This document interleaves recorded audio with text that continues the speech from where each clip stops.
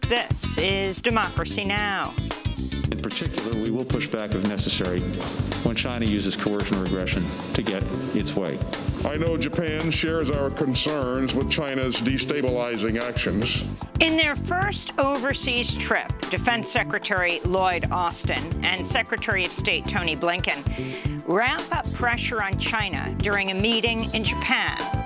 China is warning the U.S. against launching a new Cold War. We'll speak to Vijay Prashad about U.S.-China relations. Then we go to the U.S. southern border, where as many as 4,000 migrant children are seeking refuge, being held in crowded cells. We'll speak to Fernando Garcia of the Border Network for Human Rights. And we get the latest on calls for New York Governor Andrew Cuomo to resign. Because of the multiple credible sexual harassment and misconduct allegations, it's clear that Governor Cuomo has lost the confidence of his governing partners as well as the people of New York. That's why I believe that the governor has to resign. All that and more coming up. Welcome to Democracy Now!, democracynow.org, the Quarantine Report. I'm Amy Goodman. Germany, France, and Italy have suspended use of the AstraZeneca COVID-19 vaccine over concerns about reports of blood clots in people who've received it. They follow Denmark, the Democratic Republic of Congo, Iceland, Indonesia, Ireland, the Netherlands, Norway, and Venezuela in suspending AstraZeneca shots. The vaccine has been administered to millions of people around the world and is a major part of the UN's COVAX initiative to bring mass vaccination to lower-income countries. A small number of recipients developed blood clots after at least one dose, and one person died of clotting. But the World Health Organization cautions there is no evidence AstraZeneca's vaccine caused the adverse outcomes. This is WHO Chief Scientist Soumya Swaminathan. 2.6 million people have died, at least 2.6 million people have died of COVID-19 disease. And so far, of the 300 million doses that have been given to people across the world, of course, using different vaccines, we, there is no documented death that's been linked to a COVID vaccine. So I, I think that while we need to continue to be very closely monitoring this, we do not want people to panic. Many European nations have suspended AstraZeneca vaccinations just as COVID-19 cases surge across Europe. Italy has imposed another national lockdown. France is considering tough new measures after hospitalizations reached their highest levels since November. The United States recorded about 56,000 new coronavirus infections Monday and 741 deaths. Those figures are way down from January's record-breaking peak, but still comparable to levels seen during last summer's peak of infections. Figures from the Transportation Security Administration show more people passed through airports last Friday than on any day since the start of the pandemic. In California, newly compiled public health data shows 440 auto workers at a Tesla factory tested positive for coronavirus between May and December of 2020. During that period, Tesla CEO Elon Musk, who recently surpassed Jeff Bezos as the world's richest person, defied orders to close the Bay Area plant, calling public health measures fascist. The wealthiest U.S. billionaires made more than $360 billion during the pandemic, according to The Washington Post. The U.S. Senate has confirmed Deb Haaland as Secretary of the Interior, making her the first Native American ever to serve in the U.S. presidential cabinet. Just four Republicans voted for her confirmation. Haaland is a tribal citizen of the Laguna Pueblo. She's previously opposed fracking, the Keystone XL oil pipeline, and other fossil fuel projects. Haaland is a 2020 recipient of the Nuclear Free Future Award for her efforts to address the impacts of uranium mining in the American South. Southwest. In immigration news, the Biden administration is planning to detain asylum-seeking teenagers at a convention center in Dallas, Texas. This is the latest facility opened by the Biden administration to hold unaccompanied children and teens who are being apprehended in record numbers as they attempt to reach the U.S. seeking refuge. The AP reports the Kay Bailey Hutchison Convention Center will be used by FEMA, that's the Federal Emergency Management Agency, for up to 90 days to hold as many as 3,000 unaccompanied unaccompanied teenagers, mainly young men. In February alone, over 9,000 unaccompanied children and teens were apprehended by U.S. authorities. In related news, Congressmember Ilhan Omar is leading congressional demands that the Biden administration end contracts between ICE, that's Immigration and Customs Enforcement, and local jails and prisons, calling the practice an extension of mass incarceration. In a letter signed by 24 members of Congress to Homeland Security Secretary Alejandro Mayorkas and White House Domestic Policy Council Director Susan Rice, Congressmember Omar highlights a Biden racial justice executive order signed days after he took office, which directs the Justice Department to end its use of private prisons, impacting about 9 percent of the prison population. At the time, Biden made no mention of ending contracts with privately run immigrant prisons that jail the majority of people for ICE. Federal agents have arrested two men who were filmed attacking Capitol Police Officer Brian Sicknick during the January 6 assault on Congress. George Tanios of West Virginia and Julian Khater of Pennsylvania appeared in federal court Monday, charged with assaulting Sicknick and other officers with chemical spray. Sicknick died January 7th of injuries sustained during the attack one day earlier. Separately, federal prosecutors say a New Jersey Army reservist who joined the January 6 Capitol assault maintained a military security clearance, even though he was an overt white supremacist who wore a Hitler-style mustache and haircut. Co-workers say Timothy Hale Cusanelli made frequent anti-black, anti-Semitic, pro-Nazi comments while working as a security contractor at a U.S. naval weapons base in New Jersey. Meanwhile, police have begun scaling back a massive security perimeter on Capitol Hill, including metal fences topped with razor wire. Washington, D.C. non-voting delegate to Congress, Eleanor Holmes Norton, has proposed legislation that would ban permanent fencing around the Capitol. Last month, Norton tweeted, there are many state-of-the-art options that would not needlessly wall off the Capitol complex like a fortress that needs to be protected from the people we represent, she said. In Minneapolis, lawyers for former police officer Derek Chauvin have asked a judge to delay his murder trial and to move it away from Hennepin County, which is one of the most diverse counties in Minnesota. Chauvin faces murder and manslaughter charges after he was filmed kneeling on the neck of George Floyd for over nine minutes last May, killing him. Chauvin's lawyers cited last Friday's unanimous decision by the Minneapolis City Council to approve a $27 million settlement with George Floyd's family that resolved a wrongful death lawsuit, calling it, quote, incredibly prejudicial. Unquote. This comes as jury selection in the trial continued Monday. Of the nine selected so far, five jurors identify as white, one as multiracial, one as Hispanic, and two as black. In Georgia, voting rights activists are lobbying Coca-Cola, Home Depot, and other prominent Georgia-based companies to oppose voter suppression being advanced by Republican state lawmakers. Last week, Georgia's state Senate approved a bill that would end the right of voters to cast absentee ballots without excuse while toughening voter ID requirements. Georgia voting rights activist Stacey Abrams blasted the legislation as a, quote, redux of Jim Crow in a suit and tie.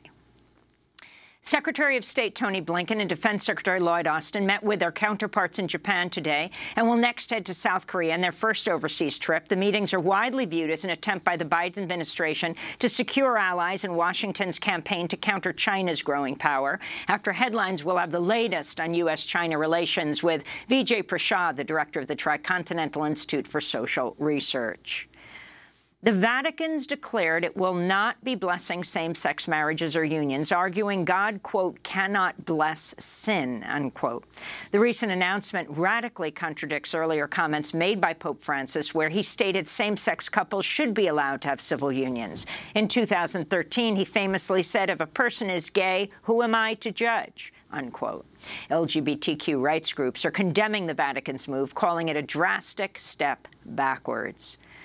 Indigenous land and water protectors on Monday led several direct actions across the U.S. and Canada against the construction of Enbridge's Line 3 pipeline, which would carry more than 750,000 barrels of tar sands oil a day through fragile ecosystems, endangering lakes, rivers, and wild rice beds. Award-winning actor and activist Jane Fonda joined calls to stop the pipeline in Minnesota.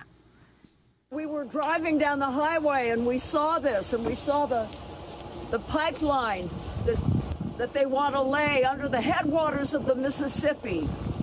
That company, Enbridge, it's a foreign company. It's bringing oil from Canada, tar sands oil, the worst. We're here to try to stop it. And members of the newly formed Union of Musicians and Allied Workers Monday held dozens of actions at Spotify offices around the world protesting the streaming company's refusal to increase its payment rates to artists. Spotify currently pays most artists about a third of a cent per stream, among the lowest rates of any streaming company. Meanwhile, Spotify's value has tripled during the pandemic. This is Jitensha, a musician in Toronto. As the biggest streaming service of all the streaming services, with paying less than 0.004 cents a stream. We know you have the income. We know the shareholders have the income. We've seen the receipts. And those are some of the headlines. This is Democracy Now!, democracynow.org, the Quarantine Report. I'm Amy Goodman in New York, joined by my co-host Juan Gonzalez in New Brunswick, New Jersey. Hi, Juan. Hi, Amy, and welcome to all of our listeners and viewers across the country and around the world. Well, we begin today's show looking at U.S.-China relations. Secretary of State Antony Blinken and Defense Secretary Lloyd Austin met with their counterparts in Japan today and will next head to South Korea as part of their first overseas trip. The meetings are widely viewed as an attempt by the Biden administration to secure allies in Washington's campaign to counter China's growing power. Blinken spoke earlier today in Japan. We're united uh, in the vision of a free and open Indo-Pacific region where countries follow the rules, cooperate whenever they can, and resolve their differences peacefully. And in particular, we will push back if necessary when China uses coercion or aggression to get its way. The Japanese foreign minister also spoke at the joint news conference. We agreed to oppose China's unilateral bid to change the status quo, including in the East China Sea and South China Sea, and shared concerns about China's Coast Guard laws. And this is Defense Secretary Lloyd Austin, also speaking at the joint news conference. I know Japan shares our concerns with China's destabilizing actions. And as I have said before, China is a pacing challenge for the Department of Defense. Last week, President Biden met virtually with the leaders of India, Japan and Australia in the first meeting of the so-called Quad, the Quadrilateral Security Dialogue. Beijing's accused the Quad of perpetuating a Cold War mentality. On Friday, Secretary of State Blinken and National Security Advisor Jake Sullivan will meet with their Chinese counterparts in Alaska for the first direct talks between Beijing and the Biden administration. Earlier this month, Blinken described China as the biggest geopolitical test of the 21st century for the United States. China is the only country with the economic, diplomatic, military, and technological power to seriously challenge the stable and open international system. All the rules, values, and relationships that make the world work the way we want it to, because it ultimately serves the interests and reflects the values of the American people. This comes as the United States and China are taking markedly different approaches to vaccines and the COVID pandemic. While the United States faces accusations of hoarding vaccines and blocking efforts to waive vaccine patent rights at the World Trade Organization, China's shipped millions of vaccine doses to nations in the global south in what's been described as a form of vaccine diplomacy. China sent free samples of Sinovac vaccine to 53 countries and has exported it to 22 nations that have placed orders. Recipients include Brazil, Mexico, Peru, Colombia, Ecuador, and Bolivia. To talk more about the U.S.-China relations, we are joined by Vijay Prashad, director of the Tricontinental Institute for Social Research, author of many books, including The Poorer Nations, A Possible History of the Global South. His latest book, Washington Bullets, A History of the CIA Coups and Assassinations. He's a senior non-resident fellow at Chongyang Institute for Financial Studies, Renmin University of China. His latest article for People's Dispatch is headlined, Biden Continues the U.S. Conflict with China Through the Quad. Welcome back to Democracy Now!, Vijay. Well, let's begin right there with that headline. Um, can you talk about the Biden administration's approach to China, um, how it um, compares to Trump, and what you see needs to happen and change? It's great to be back with you, Amy. The first thing I'd like to say is that there are deep continuities not only between the Biden approach to China and the Trump approach, but also before that, the Obama approach, because Obama, after all, inaugurated something called the pivot to Asia. I just want to point something out, which is that, you know, when they say that China is a threat, as Antony Blinken said in what I thought was a very sharp and rather bellicose speech, when he says China is a threat, what do they mean? I think here precision is important. They don't mean that China is a military threat to the United States. After all, the Chinese military has the capacity to defend its homeland, but is not in any way threatening the United States. In fact, it's US naval vessels that are sailing very close to the Chinese mainland in so-called uh, freedom of navigation, um, you know, sorties right close to, to Chinese territorial waters. So the Chinese don't have a military threat against the United States at all. What they're talking about has been very closely clarified um, in, at this Quad meeting, which is that the United States government understands that China's scientific and technological developments, particularly in robotics, in telecommunications, in green technology, and so on, has far surpassed that of US and European companies. And this is an existential threat as far as the United States is concerned, the US government is concerned, to Silicon Valley. China doesn't threaten the American citizen, the average American citizen, but Chinese telecommunication companies like Huawei and ZTE are perhaps a generation ahead of US telecommunications companies. And rather than compete, you know, in a, as it were, free market with these companies, United States government is using immense military pressure, diplomatic pressure, and a sort of information war uh, to push China back into its boundaries. It's one thing as far as the U.S. is concerned, Amy, uh, for China to deliver its workers to produce products for U.S. companies. It's quite another when Chinese companies are competing fair and square against US companies. That's the real issue here. It's not human rights. It's not military pressure. It's not what Lloyd Austin, I think, quite gingerly called destabilization. That's not the issue. The main issue here is scientific and technological competition. And China, I'm afraid, as far as Silicon Valley is concerned, is ahead of the United States in that game. Uh, Vijay, I wanted to ask you about how China is covered in the uh, U.S. and the Western media. Uh, you mentioned the technological competition that often gets some play, but the main issues that the U.S. press seems to concentrate on are uh, the trade deficit with China, uh, the democracy movement in Hong Kong, or the fate of the Muslim Uyghurs uh, in China.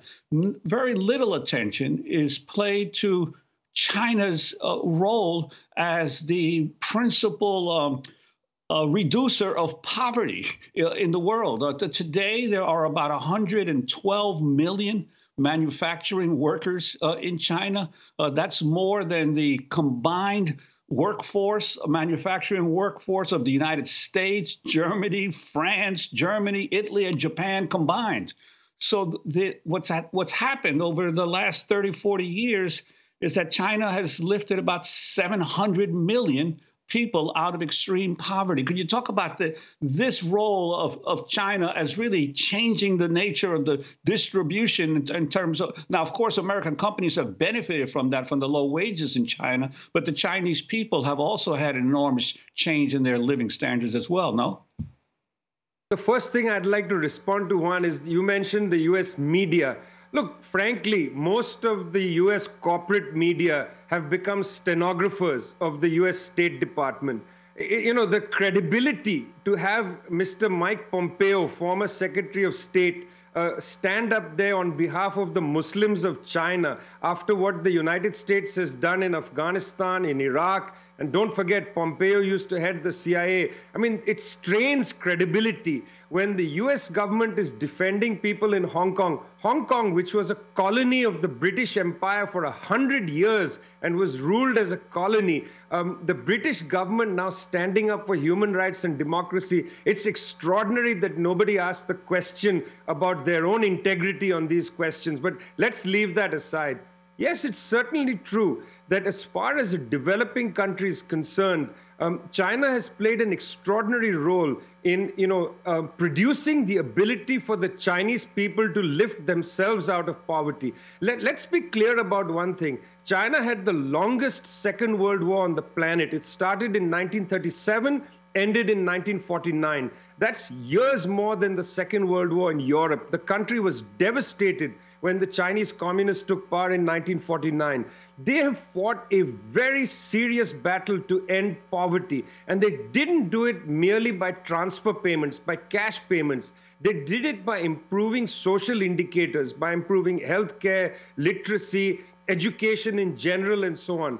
This is an enormous, enormous feat that they've done by lifting, as you say, 700 million people out of poverty. This should be the headline, but it's not. And even more so, you know, Amy, you're quite right to mention what's being called vaccine uh, diplomacy rather than the vaccine nationalism we're seeing in North America, Canada, where, where, for instance, there's double the number of vaccine doses needed. And Canada shamefully has uh, taken vaccine out of the COVAX you know, uh, vaccine fund, which is supposed to provide vaccines to developing countries. Yes, China is producing a kind of vaccine um, diplomacy rather than vaccine nationalism. But more than that, Chinese medical personnel, like Cuban medical personnel, have been going around the world assisting countries in combating COVID 19. You know, we are all for the Cuban doctors to get the Nobel Peace Prize this year, but we should also recognize the number of Chinese doctors who've been overseas uh, providing assistance in the global south.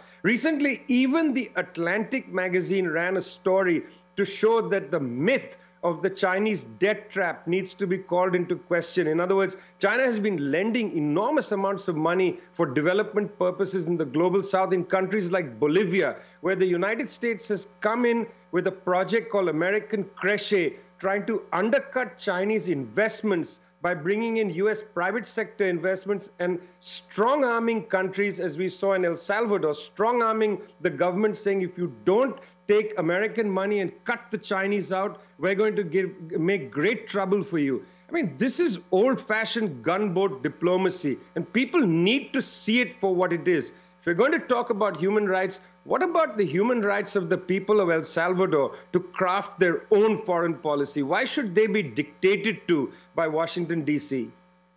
Uh, Vijay, I wanted to to uh, to center on that a little bit. The situation in Latin America. Latin America has now become the second uh, major uh, region for Chinese investment abroad, and the kinds of projects that the Chinese are helping to finance they are really astounding. There's the uh, there five billion dollars that's being spent in uh, uh, to build two hydroelectric dams in the Patagonia section of Argentina over the Santa Cruz River a, a transcontinental railroad between Peru and uh, Bolivia, and of course, a new canal across the uh, uh, Central America, across Nicaragua, to, that would basically compete with the monopoly that the Panama Canal has had over world shipping. Could you talk about the, the, the, the, sheer size of these projects? Really, most Americans are not aware of this enormous infrastructure that is resulting from the Belt and Road policy of China. You see, Juan, during this pandemic, people have been aware of what we call the digital divide. You know, some people not having access to the internet. This is, of course, very difficult at a time when, you know, 168 million children have not been able to go to school because they don't have access to the internet. It's not just a digital divide, there's an electricity divide, there's an infrastructure divide around the planet. It's one thing to live in the United States and bemoan, you know, uh, developments overseas, but you have to understand that in countries like Bolivia, Ecuador, even in the southern part of Argentina, there's an electricity divide, there's an infrastructure divide, there's a, a lack of transportation and so on.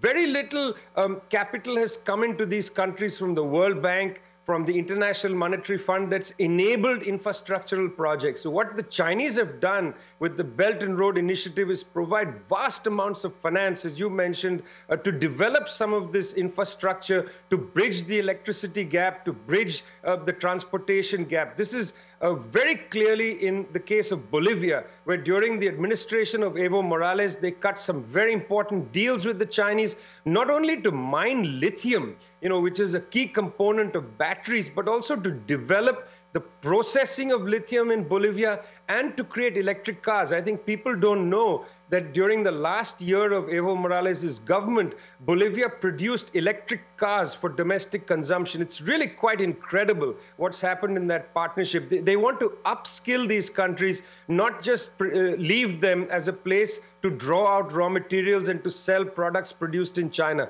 They seriously have a project of upskilling, and I, am quite impressed to see, particularly in Bolivia. But, but look at what happens to this. In Ecuador, the government of Lenin Moreno, under some pressure from the US, but it must be said, Lenin Moreno of Ecuador doesn't need much pressure from the US government, decided to cut out um, Chinese loans which had been taken by the previous government of Rafael Correa and substituted for US loans. You know, we look closely at these two agreements it was very clear that the Chinese loans were far less onerous than the US loans that were coming in. Because the Chinese during the pandemic essentially said we suspend all payments for another two years. The US has not been suspending debt, pay- debt servicing payments from uh, developing countries. So if you just look at the case of Ecuador, it's a better deal to take the Chinese money.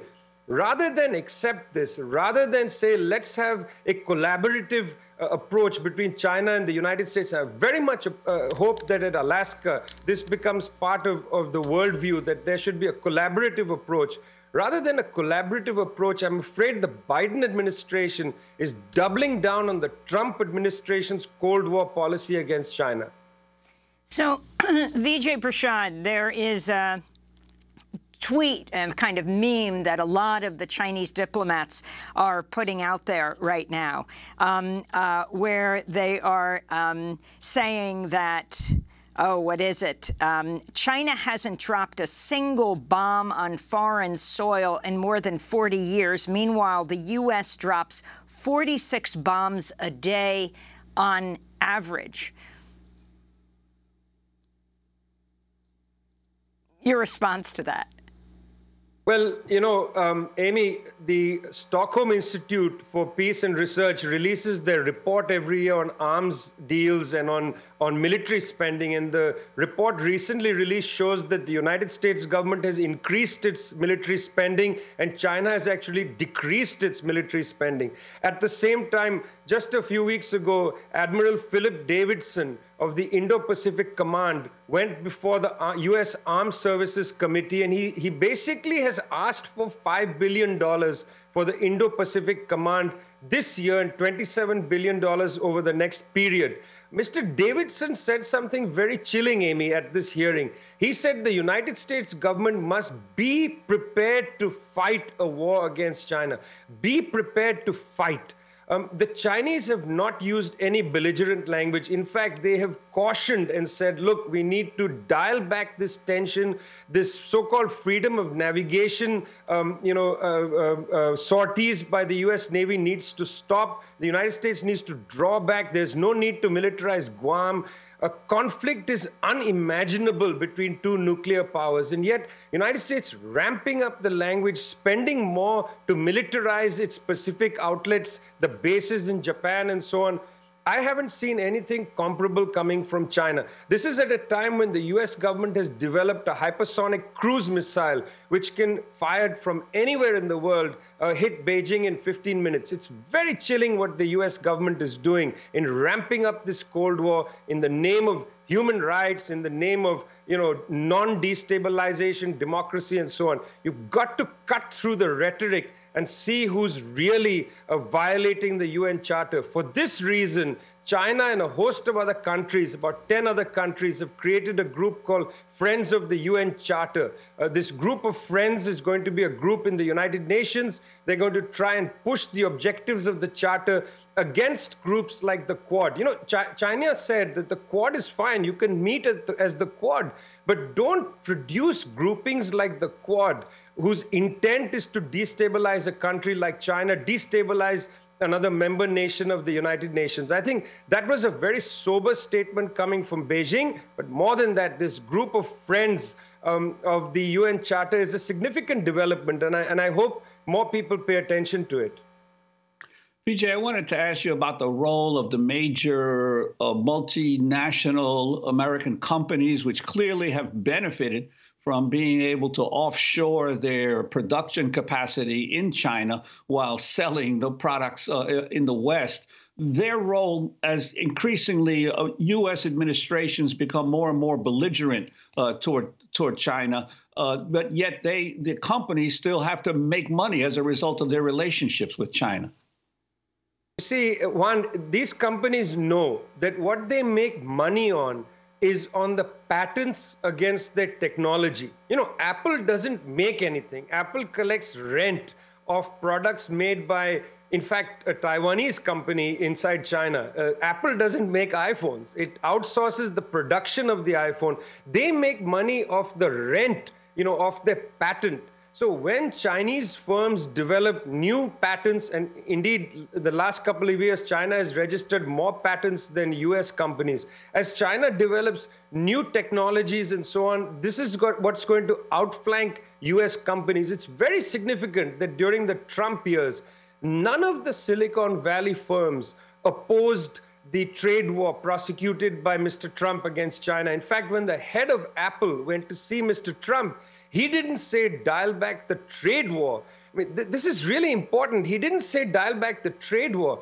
He said that the trade war is unfairly um, helping South Korean companies like Samsung, and that there needs to be a way to, you know, figure out this trade war so that a South Korean, a third country, is not benefiting from the US trade war on China, because the real beneficiary, as far as the CEO of Apple was concerned, should be Apple. You know, uh, in other words, Silicon Valley understands that they require US pressure on China to make China surrender its advances in high tech, in telecommunications, in robotics, in green technology, and so on, so that US firms can continue to make money off the patents, to continue to make money as rent seeking companies, because they are certainly not making money as innovative producers. You know, what are the major new technologies in green technology produced in the United States? Not much. Most of the big developments have taken place in Germany and in China.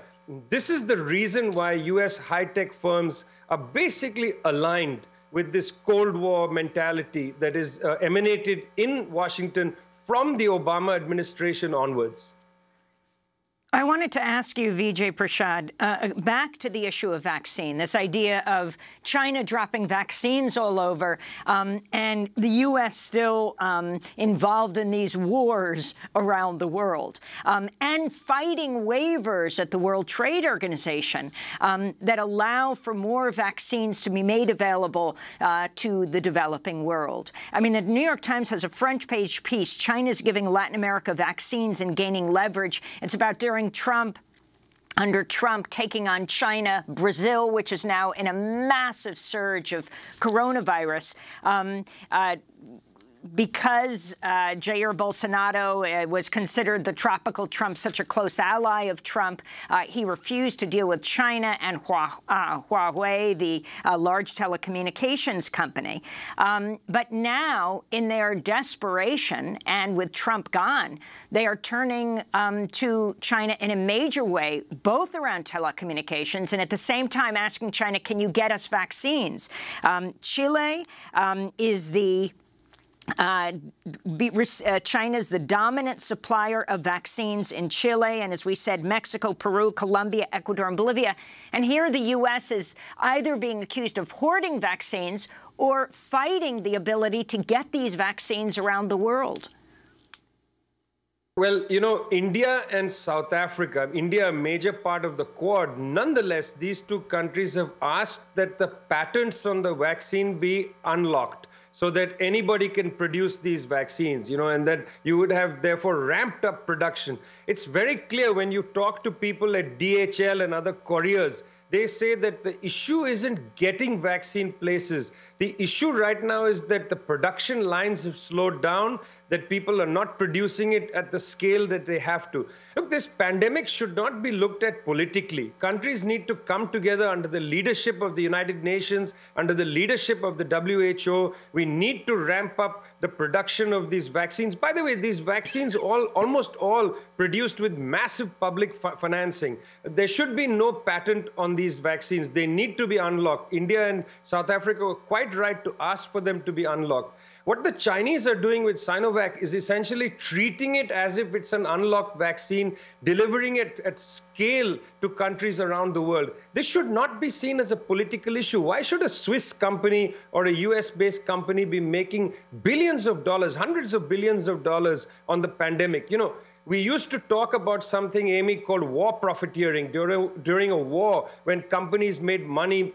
producing armaments and so on. There should be no pandemic profiteering. Pandemic profiteering should be an immoral thing. Companies should not be making money uh, during this pandemic. There should be no politics in this. There should be no profit in this. This should be treated as a human tragedy which has to be dealt with in a collaborative way by human beings. And I must say, once again, here the Chinese, but not only the Chinese, the Cubans, other countries are showing the way because they are treating this as a human tragedy. Look, China is not doesn't have a litmus, political litmus test where it sends its Sinovac. It's not saying, you know, Mr. Bolsonaro, you and your son have made horrendous racist comments about the Chinese, therefore we won't send you the vaccine. No, the Chinese say we don't we don't really care what you say. It's a human tragedy.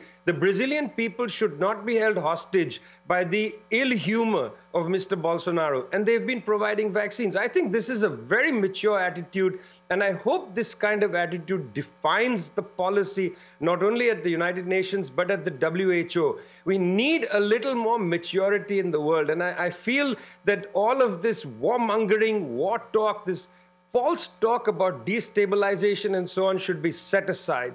Um, I am not actually governed much by what Blinken said in his speech in early March. I thought a little bit of reality would have been useful. And despite the fact that Mr. Blinken is fluent in French.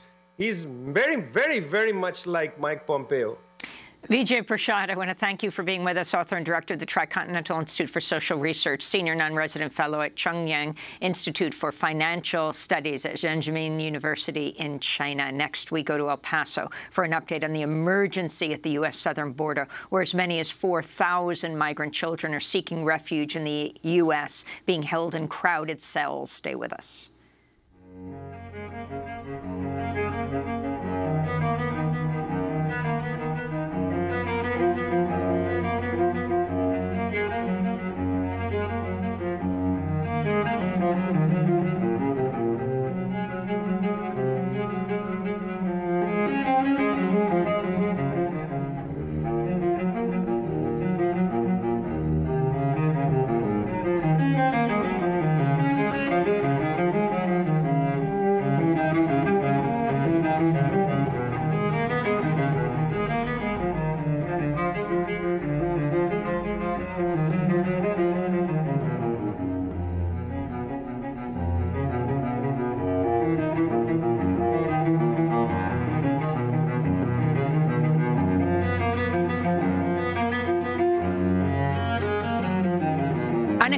Cello Suite Number One in G Major by the world-renowned cellist Yo-Yo Ma, who gave a surprise concert this weekend at a vaccination site at the Berkshire Community College as he waited alongside others in an observation area after receiving his second dose of the COVID-19 vaccine.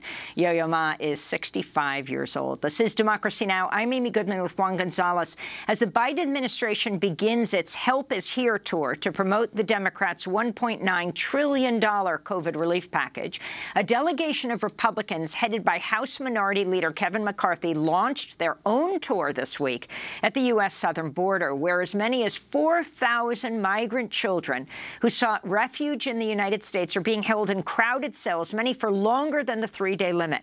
On Monday, McCarthy said they toured an ICE detention center in El Paso and spoke to Fox News about visiting a Border Patrol station to speak with agents.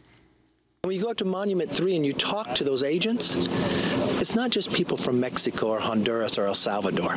They're now finding people from Yemen, Iran, Turkey, people on the on the terrorist watch list they are catching, and they're rushing it all at once. On Saturday, the Department of Homeland Security ordered the FEMA, that's Federal Emergency Management Agency, to, quote, help receive, shelter, and transport the children over the next 90 days. This is a 17-year-old Honduran migrant speaking to Reuters. Thank God we are here at our destination, and there will be some opportunities here for us. We came here suffering. We have been on the road for a month, suffering, hungry, no sleep.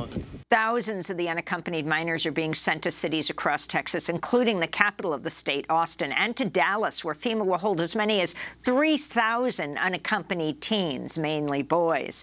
This comes as Democrats on Capitol Hill could vote this week on bills to protect undocumented immigrants brought to the U.S. as children and provide legal status to farm workers uh, and also a path to, um, uh, to citizenship to DACA recipients. For more, we go to El Paso, where we're joined by Fernando Garcia, founding director of the Border Network for Human Rights. Welcome back to Democracy Now!, Fernando. Describe the scene and what you think needs to happen.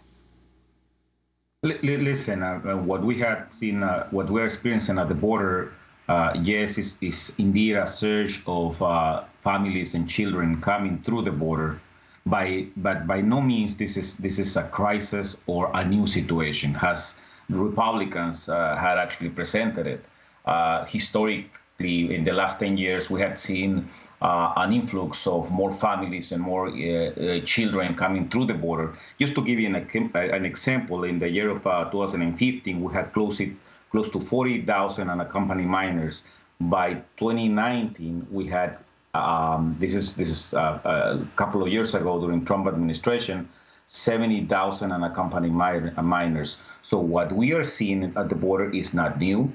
I mean, this is part of a, larger problem. Uh, we had situations uh, in Central America and in Mexico that are expelling not only children but families, and um, and they continue to come. I mean, they, they, never stop coming. What happened, for example, in uh, last year in 2020, uh, instead of uh, detaining these children and, and somehow process them and releasing them in the United States, Trump administration deported uh, expelled uh, close to 10,000 children unaccompanied minors. So, uh, so it is not true. I mean, we don't have uh, the so-called crisis at the border. If anything, we have a humanitarian crisis, but, but more than anything, we have a crisis of how the government is responding right now. I think Biden administration is not ready, was not ready to deal with a situation like this. And specifically after Trump destroyed the systems, destroyed the infrastructure, in the refugee and asylum systems in the last four years. Uh, Fernando, could you talk a little bit in terms of the uh, the particular surge, this most recent surge? Of, uh, are you finding that the, the role of these criminal gangs and uh, the coyotes who are actually are stirring up migration because it's money for them? I, am here now; it's eight, nine, ten thousand dollars for to pay coyotes to help people get to the border. I mean, that has been true for many, many years here at the border. I mean, but that, is not uh, uh, specific for this year. I mean, how has the border has been militarized uh, since 1994? Uh, uh, in the last 20 years, what we have seen is a surge in the business of coyotes and, uh, and smugglers. I mean, to cross from El Paso to Juarez, uh, for, sorry, from Juarez to El Paso, uh, coyotes are charging thousands of dollars because they are they have the ones that actually have the, the ways and means to bring people across. Obviously, many of them are connected to criminal organizations on the Mexican side. But this is the result. I mean, we need to be very clear about this.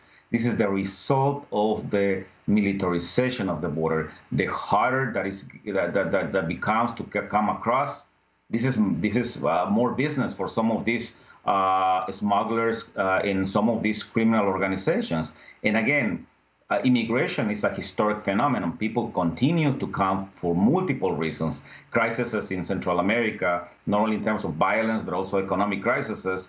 But then uh, when they get to the border, they see that, that there is the construction of uh, border walls, uh, that there is more border patrol. The, the populated areas are sealed uh, so that people cannot cross between Juarez and El Paso. So they had to hire some of these coyotes to actually take them farther away into the deserts, into the mountains, where these immigrants are more exposed. So th this is not new. I mean, this is this come uh, uh, comes as, as, the border is being um, militarized in the last 20 years. And in terms of the potential now that uh, there is a the Democrats are in control or tenuous control of both the House and the Senate as well as the White House for any kind of uh, legal uh, reform th- that would bring some uh, order and and humanity to the to immigration policy in the United States. What do the prospects look like right now, from what you can tell? Yeah, again, listen, uh, I do believe that this administration has, uh, they had very good intentions. Biden won this election by 70% of the Hispanics uh, voting in this country. And, and in the top of the agenda of the Hispanic and Latino community, it is immigration reform. I mean, people is demanding legalization of the 11 million people uh, already in the United States, and also to establish some kind of uh, processes where we can actually bring workers and families legally, so we don't have to continue uh, experiencing these searches, you know, uh, of people coming through the border. So again, uh, we're expecting that to happen. But you know, I think I'm very concerned about how, this administration it is um, uh, well, is, is not prepared uh, was not prepared to deal with the, the situation at the border. I mean, for four years, uh, Trump destroyed uh, everything at the border. I mean, they dedicated so much money to the border wall that there's that, that there's no asylum officers or even asylum uh, judges that actually can expedite the process of the of these children and those families. So, if this administration, if they don't put enough resources and very quickly on the ground, uh, here, I mean, we need like the creation of of, of uh, welcoming centers, for example, where we can surround these families with services, access to healthcare, access to legal support. If we don't do that uh, quickly, this can become a problem, a political problem. Probably it is already a problem for this administration. That whenever they got, they're gonna get to Congress to discuss immigration reform, these Republicans will continue to actually use uh, this situation to derail any any robust and systemic immigration reform. We I mean, just have again, 30 seconds, but Fernando, can you talk about where exactly this money should go? I mean, the idea of uh, diverting it away from these detention centers and building up that uh, detention infrastructure versus to nonprofits that are used to dealing humanely with migrants. No, this this is not going to resolve. It'll be resolved by nonprofits and community efforts like us. I mean, we're doing a lot what we need is a robust investment by this government on the creation of what I mentioned, these detention, these these uh, welcoming centers. That this is these are not detention centers run by ICE or Border Patrol or any private entity. We want institutions at the government to create welcoming centers where actually they can provide enough resources for uh, these families and for these children, and also expand the the, the, the sponsorship program specifically having families to sponsor these children that are coming by themselves. And finally, I think uh, we already said it. I mean, we need more resources at the ports of entry. We, not, we, not, we need more asylum officers. Uh, uh, in uh, asylum judges. We don't have that at the border. That's why we're experiencing this backlog and these detention centers housing children and, and, families. Fernando Garcia, we want to thank you for being with us, founding director of the Border Network for Human Rights based in El Paso, Texas. When we come back, the latest on the calls for New York Governor Andrew Cuomo to resign. Stay with us. Now I'm feeling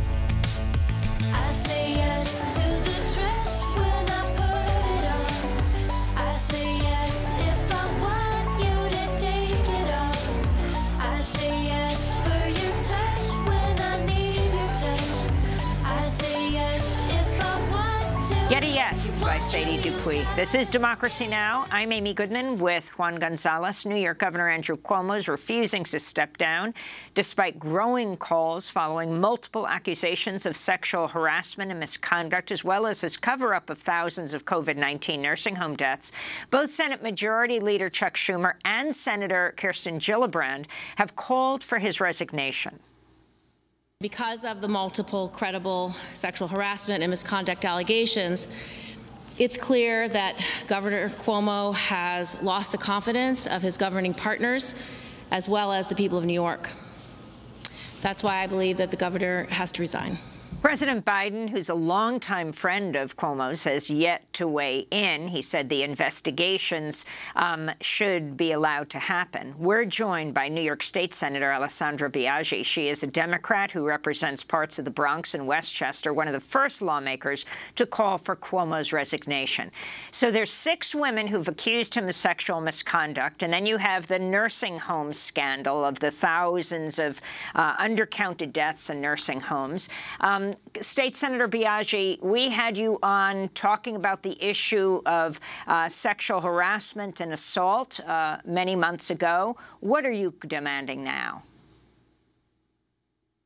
So, I mean, thank you for having me and good morning. Um, you know, I think just zooming out for a second, the totality of the circumstances here are um, not, frankly, for the, the, faint of heart. I mean, the details of the growing sexual harassment allegations and the nursing home death cover up, as you've mentioned. We also have reports about the governor's vaccine czar calling county officials to gauge their loyalty to the governor with regard to whether or not a county will receive vaccines.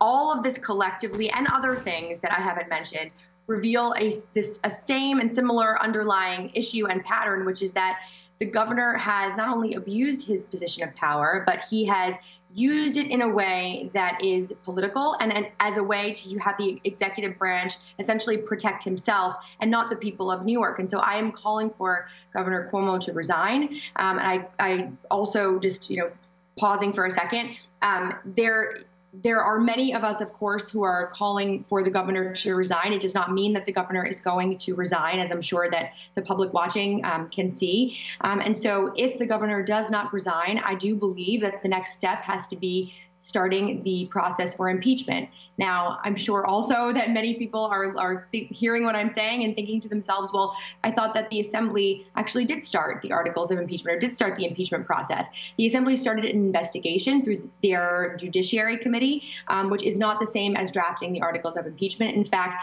there is only one other example in the entire United States history where an investigation begins before um, the articles of impeachment are drafted. In fact, the investigation piece is actually for the Senate. And so I do think that, that is the next prudent step um, because of what is in front of us in terms of our responsibility as lawmakers and elected officials. Well, oh, Senator Biaggi, I wanted to ask you the um, you worked for a time in the governor's office. So could you talk about your own experiences in that workplace? And and you've also said that you haven't met a person in New York City politics who has a good relationship with Andrew Cuomo. Well, why is that? So I did work for the governor. I worked um, in his executive chamber right after coming off of the 2016 election, thinking, like many people, that I was going to join an administration that was going to be this progressive beacon of New York and do a lot of good to push back against the Trump administration. Um, not only was I wrong, but I entered an administration that was part of this culture of fear, of toxicity, of um, berating people, of yelling at people. Um, many people uh, that were surrounding me, as my colleagues, and things that I personally experienced, um, were just constantly living day to day in a state of fear and intimidation. And not only was that in and of itself sufficient to think that that is a workplace that not only is um, toxic but also abusive, there was a lack of progress happening. So that behavior and that um, pattern of abuse by the governor and his top aides is something that actually leads to bad governance. And so, you know, when I look back now thinking about just what was possible at that time, there was so much more that New York could have done. And yet we were stopped because of the governor's obsessiveness, frankly, with controlling everything around him. And so there was not an email that went out the door without his approval or a press release that went out the door without his or his top aides approval. And you know, you might think that that's a very normal way to operate an office, but when you have an office full of very um, ambitious, smart people who want to do their job and serve the people of New York, but are prevented from doing so because there is one person who wants to have all of the control, you soon find that you cannot actually do your job. Uh, and in terms of those who say that uh, that the governor should be given uh, the, the benefit of having an actual investigation verify these allegations, what do you say to them? Well, you know, the governor is guaranteed due process um, under the law, of course, but calling for the governor to resign is absolutely not a judgment about his liability for any alleged criminal act that we're talking about here. The formal investigations Right now, there are several of them. There are two federal investigations, two for nursing homes, the FBI and the EDNY, Eastern District of New York. And then there's the Attorney General's investigation with regard to the sexual harassment, assault, and misconduct claims. Those are all allegations that can continue to move forward and should continue to move forward. But there is a very stark difference between investigations that may lead or end in criminal criminal charges and the question of confidence in our political leadership. And that's why I continue to stand by my call for the governor to resign, especially again in this moment that we are in, which is not a moment um, to, you know to take lightly. We are in the midst of budget. We are about to start planning for the recovery of the state of New York. We have a $16 billion deficit.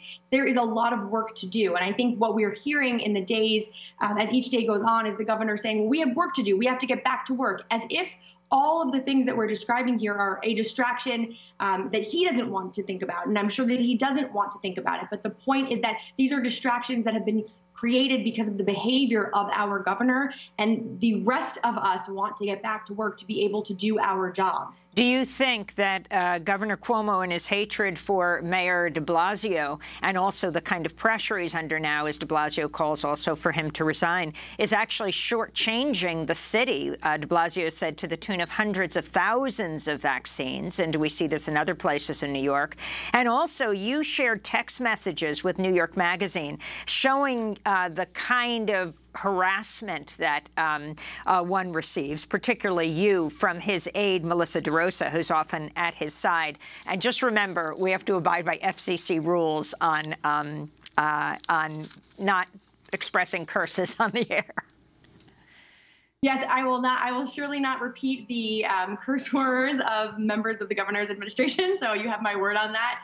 Um, listen, I think that when we listen to what De Blasio is saying about shortchanging the city, that's not something that's an anomaly. It's not um, unusual. In fact, the governor's decisions about how he governs are very political. He oftentimes makes decisions based on those who are loyal to him. So, you know, the stories coming out about his vaccines are calling people, calling county executives, and trying to gauge their loyalty about you know the, their relationship to the governor and then decisions being made about vaccines it's not an unusual thing for those of us who've been working in new york state government under this executive administration but it's also not we have 10 seconds sure, to, to make decisions based on politics in a moment where we can save lives is outrageous. And so, you know, I think that there is a, a lot of work to be done here. And I think that this is a governor who's not able or fit to do it. Alessandra Biaggi, New York State Senator representing parts of the Bronx and Westchester. And that does it for our show, Democracy Now! produced with Renee Feltz, Mike Burke, Dina Guzder, Libby Rainey, Nermeen Sheikh, Maria Taracena. I'm Amy Goodman with Juan Gonzalez. Remember, wear, stay safe, wear a mask.